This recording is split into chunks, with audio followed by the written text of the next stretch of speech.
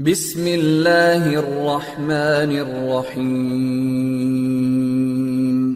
رب زدني علما So network devices by default generate the log messages and these log messages can be used to keep the track of the events or the changes occurring in your network. Like if we take an example, if I go to the command line, so whenever you make any changes, currently um, I'm into my console screen of my device.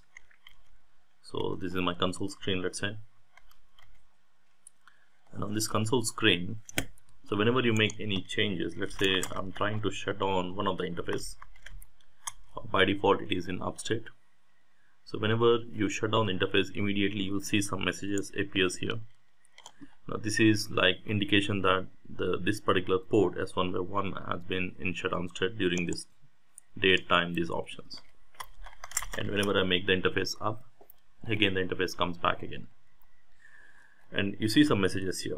So like that you'll see different types of messages in general on on the console screen by default. Now these messages are typically referred as log messages. And these log messages are automatically generated. And by using these messages messages we can keep the track of the events occurring in your network. Like generally some of the some of the log messages which help us like device failure notifications like you got a router and one of the interface fails or goes down generates a log message. Or it can be some kind of other messages like you're connecting to some router and you're establishing the EIGRP neighborship and the neighborship fails generates a log message. Or maybe you're connecting to some service provider network and you got some BGP connections and maybe the neighborship goes down it generates a log message in general or you can also use a specific log messages like you can you can do some kind of auditing where I can go to the router and configure the ACL uh, to match a specific traffic. And I can tell the router to generate the log messages if if any traffic matches that particular pattern which can be used for some kind of auditing. Or even we can do some kind of troubleshooting also it is useful. Like uh, let's say let's say you you got some issue on the router maybe the neighborship goes down and maybe the neighborship is flapping or the VPN VPN is not coming up uh, something is not working according to a requirement and you just want to see what is happening in the backend. So we can enable the logging for the debug messages and then we can see the backend messages what is uh, going on in the backend. So there's also another another reason for generating the log messages and keeping a track of them and of course we can also use it for for forensic analysis like uh, for in, in, some kind of in, incident investigation. So let's say uh, something occurred in your network maybe some kind of attack and you want to see some of these previous log messages which are generated on this particular device where we can trace the victim and attacker at which point it actually occurred. So so we do enable some logging messages. Of course the device generates some log messages to, to some extent and we need to keep a track of those messages for multiple reasons. So to now we got different options of logging like we got a console logging option VTY local buffer and external log servers. Now basically console logging means whenever you log into any device like in this case I'm connecting to router 1 via console cable. Of course I'm using GNS3 to connect but the default uh, when you open up the console it's it's almost like a console connection here. Like you connect your router to a physical console port and you access the router via console port. And by default uh, logging is enabled on this particular port. And whatever the changes happening in your network it will be by default uh, showed on the console port. But by default these messages are not saved in general. So the console logging is by default enabled in all your router switches and by default they send the log messages to the console port as I discussed just now. And hence only the users who are physically connecting to the router console port can view these messages. So if I'm if I'm use, not using the console I cannot see these messages. So currently here uh, the console access is on the router 1 now by default these messages are not saved. Like even if you if you try to enable some kind of debug messages in the backend you also see some kind of debug messages where the hello messages are sent for every five seconds.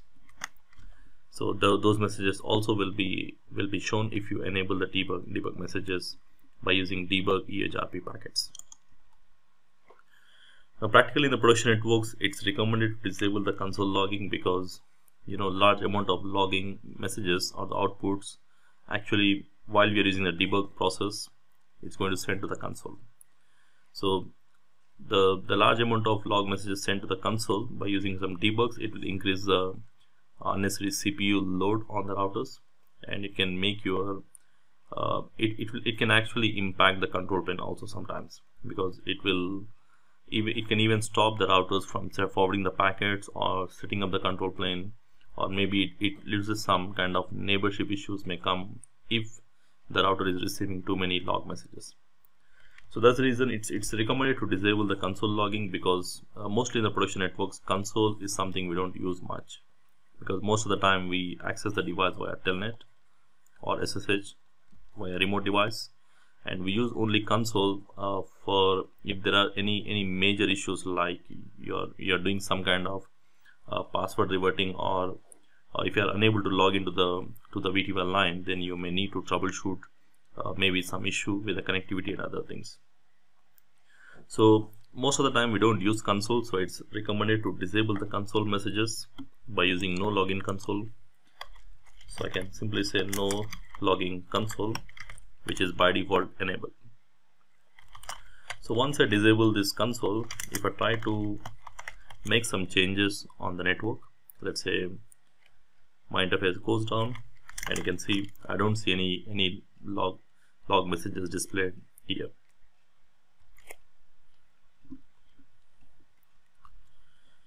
Now the other option of the console is we can use something called buffer logging.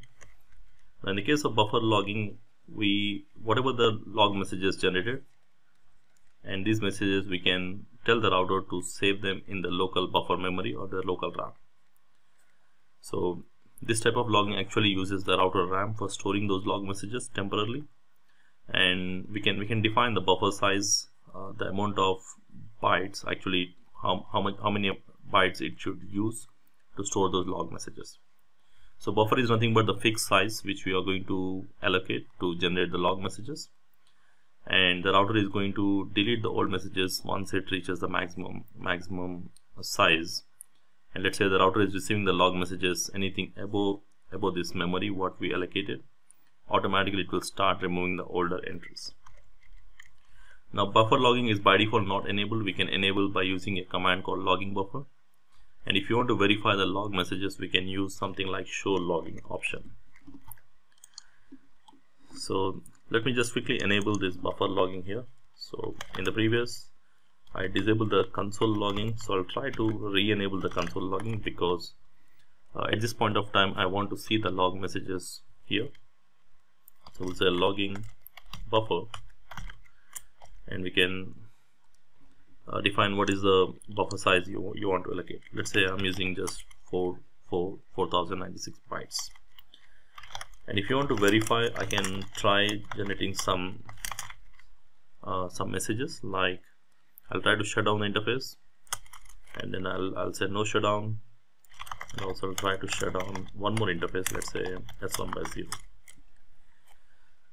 because on the router 1 s1 by 0 interface I'm connecting to router 2 and I have pre-configured EIGRP here so most likely if I shut down the s1 by 0 interface I should also see the interface goes down here. I think I didn't configure the EIGRP so so I don't have EIGRP configured. I just I don't have here. So probably you see the messages here. Interface change state to down. I'll make it back up and then now if you want to verify these log messages we can use an option of show logging. So when I say show logging you can see these messages just now whatever generated just now. And the logging buffer size is 4096 bytes here